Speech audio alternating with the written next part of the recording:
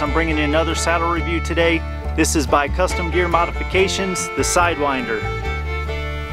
Just a quick disclaimer, I don't know anybody that works for Custom Gear Modifications. Uh, I did not purchase this saddle. Uh, they did reach out to me and they asked if I'd be willing to do a saddle review and I told them that I would. With that, I am able to do a 100% honest review. All right, let's get this thing unboxed.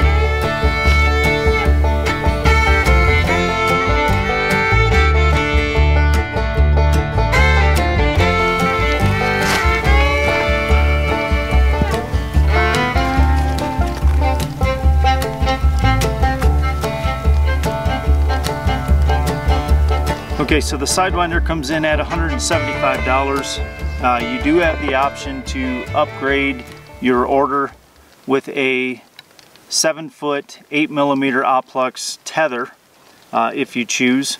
Uh, the Sidewinder comes in three sizes, a small, medium, and large. I believe the small is up to a 34 inch waist, the medium is up to a 38 inch waist, and the large is up to a 44 inch waist. Right off the bat, uh, just looking at it, it looks really sweet. I do like that your leg straps are completely removable. They have two tri-glides right here, one above and one below that hold it in place under that one inch webbing. All you would do is slide the tri-glide down and remove those and you could take your leg straps off.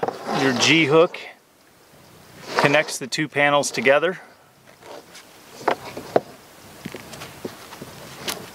and holds it in place on the walk-in.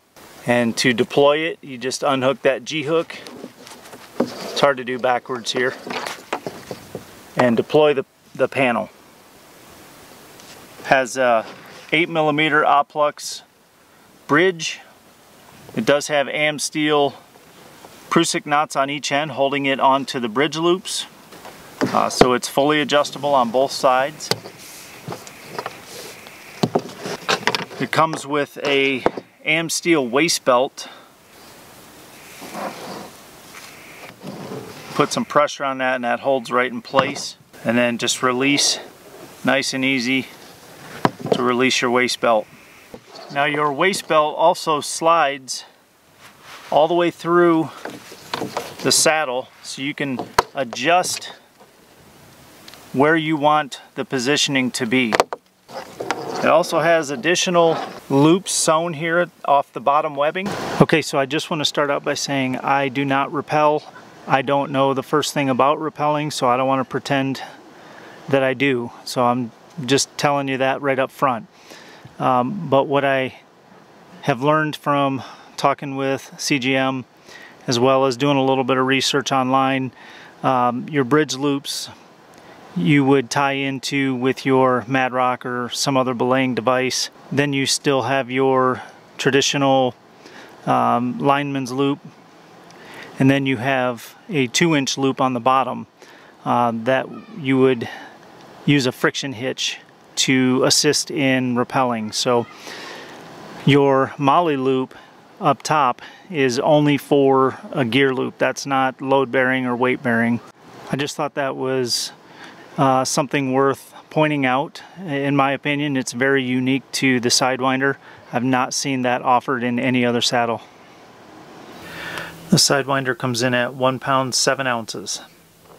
You do get one row of MOLLE all the way across the top. Uh, they do look like they're sewn somewhat tight. It's kind of hard to get a finger under there. Um, shouldn't be a problem getting dump pouch attachments through there. Alright, so I'm going to get the dump pouches put on. We're going to put the saddle on. We're going to wear it in. See how the dump pouches ride. Uh, how the uh, MOLLE loops line up. Test the uh, lineman loops ascending the tree. We're going to sit for an hour. I'll uh, test the bridge functions uh, as well the length as well as up and down the bridge loops. We'll descend the tree using the lineman loops again and see how the dump pouches wear out and I'll give you my overall opinion when we get back to the truck.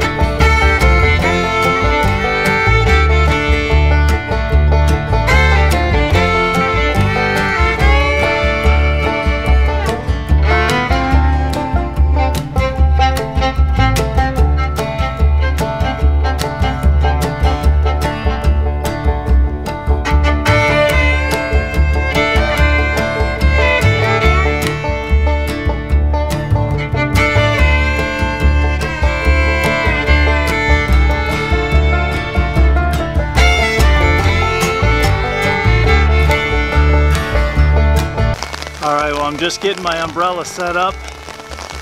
I'm in the tree. Let's get the timer going because I got my tether on. All right, so we're in the Sidewinder for one hour. It's actually gonna be way over an hour because I've been in the Sidewinder for a while trying to get this umbrella set up. Trying to separate the panel, uh, the top and bottom section of the panel with that G-hook. That took way longer than it needed to. Um, I had to unhook my leg straps to uh, give the bottom of the saddle a little bit of movement so I could try to pull up on it and free that G-hook. Uh, that was really difficult. So on the walk-in, the Sidewinder kept sagging down below my hips. Uh, I think it was a combination of two things. One, the weight of my dump pouches, and for two, this Amsteel uh, waist belt was not holding it tight enough.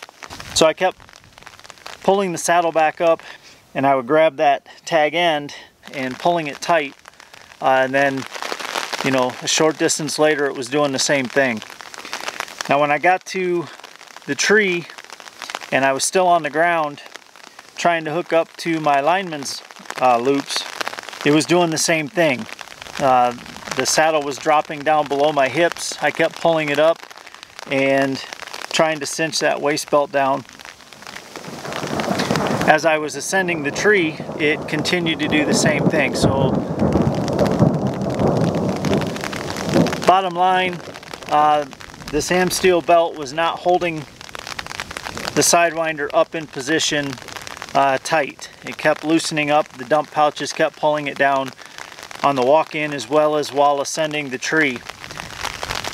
Now what that does is when the saddle drops down that that put the pulling point on my lineman's rope below my hips which feels really awkward. You feel like you could tip backwards.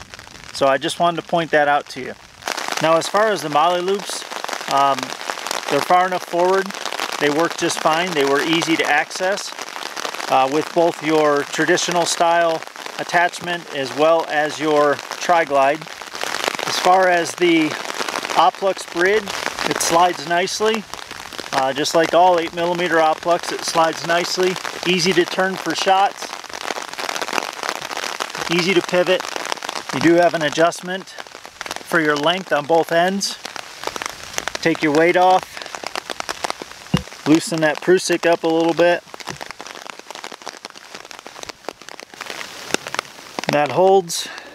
Now as far as adjustability up and down your bridge loops, uh, we're in the middle now on both sides. So let's go ahead and move up to the high side. Loosen up that bite. And that held. So now let's move down to the bottom side.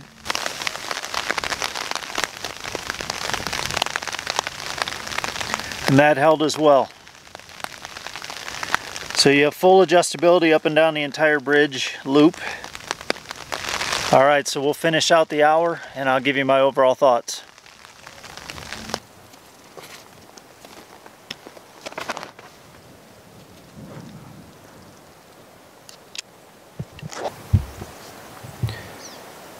Uh, it just quit raining. Uh, sun's starting to come out. I figured it would be a good time to let you know that I am going to be doing a drawing on the Sidewinder saddle. Now, Custom Gear Modification, CGM, they were gracious enough to send this to me and allow me to do a review. And then they told me I could either keep the saddle or do a giveaway. Uh, I personally would rather do a giveaway and bless one of you with a free saddle. Uh, the only thing you have to do to be entered is one, subscribe to my channel. For two, drop me a comment below. Let me know that you'd be interested in being a part of the drawing and you're entered in. It's as easy as that. Now I will be doing the drawing in September, probably the second or third week of September. Uh, that'll give you plenty of time to receive the saddle and do a little practicing before season starts. All right, I just hit the one hour mark in the Sidewinder. So I'm gonna do a brief overview and then I'll descend the tree and I'll give you my final thoughts at the truck. On the walk-in, the saddle did sag uh, I believe due to the weight of the dump pouches as well as the Amsteel not really holding it tight enough. As well as ascending the tree, uh, it kept wanting to sag down. I kept having to pull it up. Uh, as far as the MOLLE loops, the MOLLE loops work really well. Uh, they're far enough forward. They're easy to access with your uh, traditional styled MOLLE attachments as well as your tri-glides.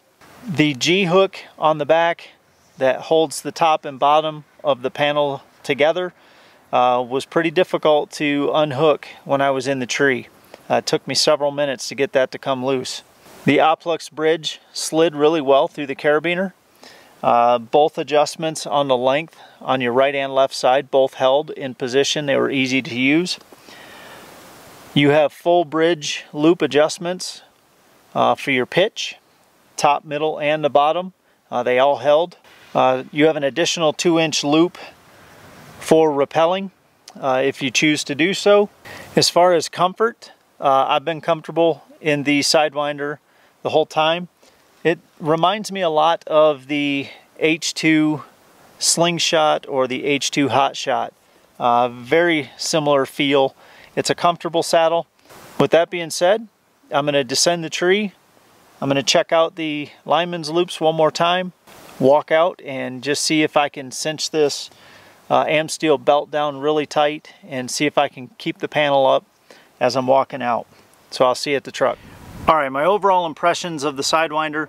Uh, the Sidewinder, uh, walking in, uh, gave me a little bit of hassle with the uh, saddlebags pulling down and pulling that uh, top edge of the panel down below my waist bones. I had to keep readjusting that. Again, I did have the panel, the top and bottom of the panel clipped together with the G-hook and I also had the leg straps on. So that was pulling on the bottom of the panel, which was pulling the top down. So on the walk out, I did leave the top and bottom edge of the panel uh, apart while using my leg straps and it didn't fall down as much. You do have the ability to pull the Amsteel belt and shift it around to the left side. That gives you a little more room to tighten it up. Now if you pull on the other end and stretch that out versus having it bunched up like this, uh, it just slides at that point. So if you tighten the belt up and then pull this end out and kind of center the belt, it does tend to hold a little bit tighter. The other thing that I noticed is if you're going to walk in and out with your leg straps attached with the G-hooks, it's better if you leave the G-hook on the back undone and leave the top and bottom portion of the panel separated. If you have the top and bottom portions connected with the G-hook and you're wearing your leg straps, those leg straps are pulling down on the bottom side of that panel and it's making the top come down. So my recommendation would be to either unhook your leg straps all together on the walk-in and then you can hook those two top and bottom panels together or leave that unhooked and put your leg straps on one or the other. When I came out, the saddle did sag a little. I like it to be up here on my hips, nice and snug. And it did keep falling down just a little bit, but not as bad as it did on the way in. Uh, so that's one thing I learned just in this one uh, sit. The lineman loops worked really well. I didn't have any problems there other than the saddle uh, continued to drop. Uh, the waist belt wasn't holding it in position very well. Uh, but again, I had my leg straps on as I ascended the tree. Uh, on the descent, the saddle did not drop down as much as it did on the way up.